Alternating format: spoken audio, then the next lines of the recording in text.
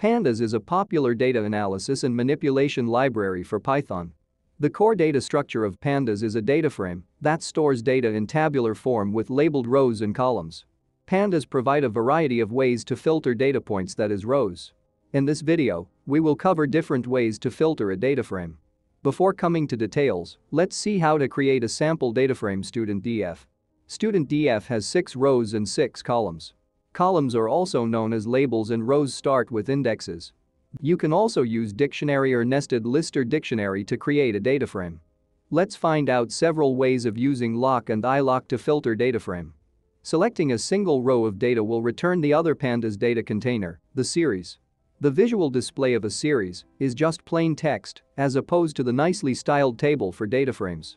The sequence of labels Ralno, name, branch etc. are on the left is the index. The sequence of student DF details on the right is the values. You will also notice two extra pieces of data on the bottom of the series. The name of the series becomes the old index name. You will also see the data type of the series. Select multiple rows with dot .loc and dot .iloc with slice notation. Slice notation is defined by start, stop and step values. When slicing by label, pandas includes the stop value in the return. It returns a data frame, contains the rows in the order specified in the list. StudentDF.loc03 returns 4 rows, while StudentDF.iloc03 returns 3 rows only. The reasons for this difference are due to Loc does not return output based on index position, but based on labels of the index. And iloc selects rows based on position in the index. It also means that iloc only works with integers. Let's replace the index values of student DF with column name values to complete the future exercises.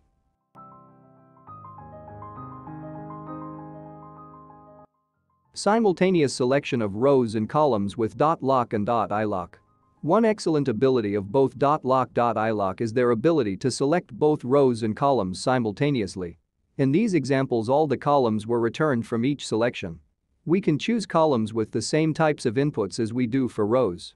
We simply need to separate the row and column selection with a comma. For example, we can select rows Bale, Gibbon, and Soman with just a column's total, age, and hobby. The order of column and row selection doesn't matter.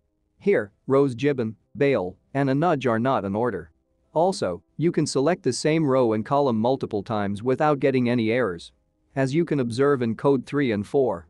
Row Bale and column Ralno is repeated. Also, you can select multiple rows and columns using loc and iloc and slice notation. Loc method filters row from Bale to Gibbon and columns from branch to age.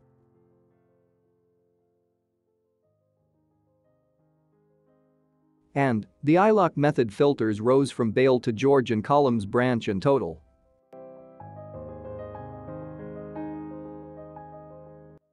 The following slices are from row Bale to Gibbon, inclusive. Its step size is not explicitly defined but defaulted to 1. But step size in 5 and 6 code is explicitly defined as 2 and 3. The loc indexer can also do the boolean selection.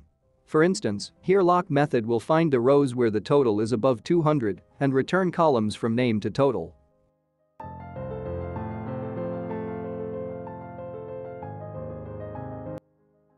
You can replicate this with iloc, but you cannot pass it a boolean series. You must convert the boolean series into a numpy array. We need to add dot values to make that boolean selection work. Lambda is an alternative way of defining user-defined functions. With the use of Lambda, you can define the function in a single line of code. Here loc and iloc methods select the rows whose age is greater than 22.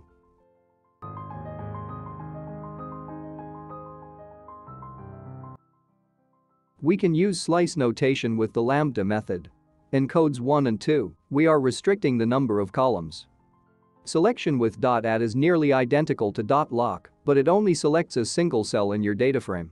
We usually refer to this cell as a scalar value. To use dot .at, pass it both a row and column label separated by a comma. Here humanities value is selected from rows George and column branch. Selection with .iat is nearly identical to .iloc, but it only selects a single scalar value. You must pass it an integer for both the row and column locations. For selecting a single value, at and IAT methods are a bit faster than loc and iloc methods. I rarely use .at or .iat as they add no additional functionality and with just a small performance increase. I would discourage their use unless you have a very time-sensitive application. Most people are familiar with the primary purpose of the data frame indexing operator, which is to select columns. A string selects a single column as a series, and a list of strings selects multiple columns as a data frame. To select a single column of data, simply put the name of the column in between the brackets. Let's select the student DF hobby column. It's possible to select multiple columns with just the indexing operator by passing it a list of column names. Let's select hobby and age. Using a list selects multiple columns. What people are less familiar with is that when slice notation is used, then selection happens by row labels or by integer location. This is very confusing and something that I rarely use but it does work. The indexing operator, bracket, can also do the boolean selection. We can use the logical operators on column values to filter rows. We have selected the rows in which the value in total column is greater than 200 and age is greater than 20. Pandas allow for combining multiple logical operators. For instance, we can apply conditions on both total and age columns. When selecting multiple columns, you can select them in any order. It doesn't have to be in the same order as the original data frame. For instance, let's select branch, rolno and hobby. The explicitness of loc iloc for selecting rows is highly preferred. The indexing operator alone is unable to select rows and columns simultaneously. The ISIN method is another way of applying multiple conditions for filtering. For instance, we can filter the names that exist in a given list. Here, ISIN method will check whether Bale and John are present in the index or not. And then returns the selected rows. In the next code, the ISIN method check values 200 and 300 in total column. And then returns the true condition row. You have seen examples of the ISIN method implemented on a single column at a time. But you can implement the ISIN method to the entire data frame, see codes 1 and 2. Also, you can use dictionary data types to checklist data in columns, like code 3. Pandas is a highly efficient library of textual data as well. The functions and methods under the str accessor provide flexible ways to filter rows based on strings. For instance, we can select the names that start with the letter J. The contains method under the str accessor returns the values that contain a given set of characters.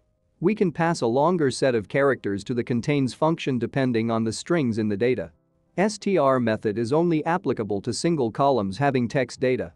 There is another str function such as center, contains, count, find, findall, etc.